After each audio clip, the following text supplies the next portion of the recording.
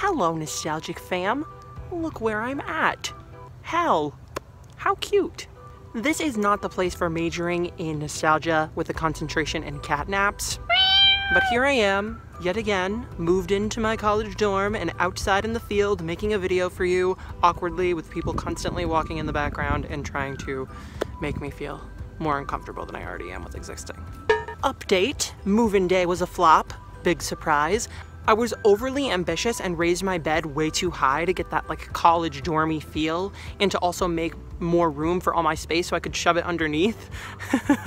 but now I can't move the rest of my stuff in until I get that fixed. Because your bed is literally 90% of your room when you're in college, and if the bed is wrong, you have to move everything around, and then if you put stuff in the things you need to move around, it's harder to move. It's kind of complicated, but it makes sense why I can't move in. Trust me. The way my bed is now, it's way too hard to get in and out of, and that's not as much a problem for me as it is for Finnick. If you guys have seen the video that I made about my cat, he has kind of weak back legs and he's kind of shaky and discombobulated in general. So it's, I, mm, I don't want him that high up and I want him to be able to sleep with me comfortably. So I need to fix that immediately. I couldn't even put makeup on today because I can't get to my stuff because then I'd have to unpack all my stuff and then it, so now I'm forced to wait patiently for maintenance, which is like my least favorite thing to do. That way I can start making my room more comfortable via band posters and cluttery decoratives. In the meantime, I'm sort of like a sitting duck with all of my stuff packed in boxes, and I'm kind of living out of those for the time being, which makes me very, very anxious. Speaking of anxiety, wow, school makes that so much worse. If any of you feel the same, I hope this makes you feel less alone, because as necessary as school might be, it is pretty toxic. The people I'm dorming with are lovely, so it's not their fault, but I'm just a mess. Here's my advice to people who are starting school and are feeling really overwhelmed already. Be patient with yourself and try your best not to judge yourself for not having your life where you want it to be yet. In case you haven't heard, most goals don't get accomplished overnight, my friends. I know, this is news to me too. So instead of hating on yourself for not being where you want to be in life, try your best to get there and be patient and reward yourself in the time being. Go slow. Slow and steady wins the race. Like the tortoise. Ooh, another thing. I should basically just at myself with this one, but I'm sure it applies to a lot of people. Give it your best effort not to compare where you are in your life with other people. We all have different struggles and move in our own pace forward or backwards or forward and never again ever anywhere. Mm, that's me. I am so bad at advice. I'm not saying this is easy because I struggle with these problems too, and school only amplifies it to the 11th degree, but it's something that should be accounted for. Momos keep walking by. Did you lose a dog? yeah. You did? He ran through, like, kind of around there. yeah, I saw a bunny. They'll either come back out or I'll meet him on the other side. All right. I move the camera when people walk by because I feel like they'll like yell at me for having them in the camera, but I forgot to turn the camera off, so I hope you guys enjoyed that little interaction. I'm sorry for my existence. If you can challenge yourself to find a group of friends that genuinely enjoy your company, I have a feeling that that would probably make high school and college a lot easier to go through. Uh, in college, I've met like a couple friends who I've lived with, and that's definitely helped a little bit. I'm getting eaten alive out here. I hate being outside.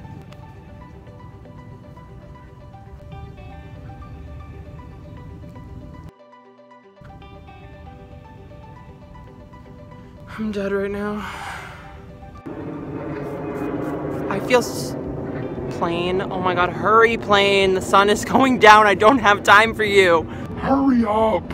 How many miles per hour are you going and you can't just get out of my area for a little bit?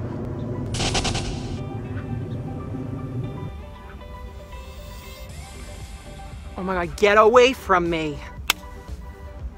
I feel so attacked. It's not safe outside. I mean, I'm glad that the sun's gone, but now all the buggies are home. Get the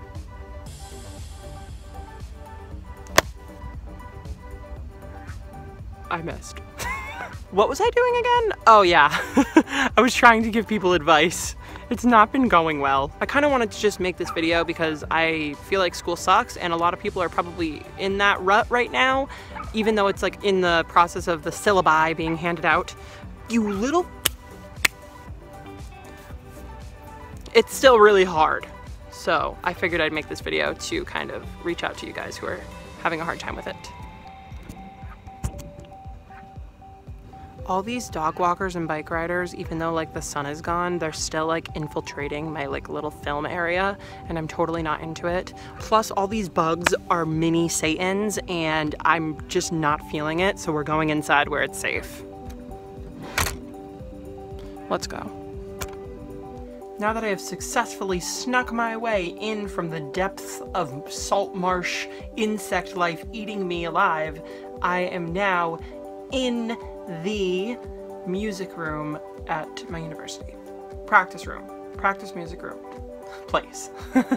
I come here a lot because it's quiet, it's like a nice way to kind of get away, and it's the best place to film, honestly, because even though it's not very aesthetically pleasing in the background of me, it's very quiet. The walls in this room cancel sound, so it's good to be in here and make a fool of myself because other people can't laugh at me. The only people that can laugh at me are the people that I publicly post this video for them to laugh. So, it's an interesting concept, really. I don't want to be laughed at while I'm filming, but I hope people chuckle and relate when they are watching this video after my filming and it's publicly posted. It's kind of like the similar thing is like when you do something stupid, you kind of were like really upset about that or like embarrassed, but then later on you laugh at it. That's kind of what my whole YouTube channel is about. But yeah, where was I? What is the whole theme of this? Oh yeah, back to school advice. So I'm sucking at that. But let's try again. Give yourself breaks when you need it. That is so important. That is so important. If you need to climb under the covers and play Overwatch for five hours, you have to do that. It's something you have to owe yourself. If you need to take a really long shower and waste all the hot water, do it. You you have to do what you gotta do. You only live once. And if people are ever hard on you or kind of give you a whole ton of ish for not trying hard enough, that is BS because we are all doing the best we can and I, you, you just, listen, those people, this is what I have to say to you. Fork yourself. If you're living in school and you're in your dorm and it's just too much for you, take space away. Take a nice little walk. That might be good. School is hard and adjusting to all that social awfulness is just literally exhausting and totally something I wish I'd never had to do in my life. But you've got this. I have faith in you. It's also good to set goals for yourself. I've learned this. this is something I've learned. it only took me 21 years, but setting goals for yourself is actually not bad. It's not lame. It's not that bad. It's horrible. But it works, kinda. At least try my goal, my goal that I'm setting for all of you guys is to try to set a goal. One goal. I have some long-term goals. Since I've moved back into school, I've set some long-term goals. Okay, so my goals so far are I want to exercise more now that I'm on campus because I don't have an excuse. There's a treadmill right in my dorm room, so I really want to start doing that because I've been gaining a lot of weight and it's kind of making me feel really bad about myself. So that's something I really want to try and do. Two, I want to post more regularly on this channel because I did that for like one week after I said I was going to do that and then I stopped doing that because I was dog sitting for a week and that was tragic without internet and it was just I couldn't do it and plus I didn't have any alone time so now that I do I'm going to try my best to post two times a week here and one time a week on the collab channel I just joined which is called Our Glass Hearts. It's a beautiful little channel so if I haven't told you guys about that yet, I did join a collab channel. It's basically different alternative YouTube personalities and we all kind of make a video on different days of the week. So that's really cool. I'll be doing that on Sundays, so please feel free to subscribe to that. I'll leave the link to that channel below in my description. So actually, to know what else I'm to do? I'm to also put it in the end links. So yes, I will put that in the end links so you will see the little picture come up and you will subscribe to it if you want. I hope. Please, support me. leave a comment on my introduction video. That would be really cool. Some of you already have, and I love you all. Much love. Another goal I have for myself, back to this, I also want to start and maintain a job because that is something I need to do. I'm literally broke AF and I want to go to Five Below and get a whole ton of stuff. So I want to be able to do that. I also don't fit into any of my clothes anymore, so if the exercising thing doesn't work out, I need to be able to have money to be able to buy clothes that fit me because like literally I feel like a marshmallow sausage. And then of course the no-brainer goal that I have is just to do good in my classes and go to them all, which I'm actually pretty good attendance-wise. I never really skip class on purpose. And yeah, so I'm gonna try my best.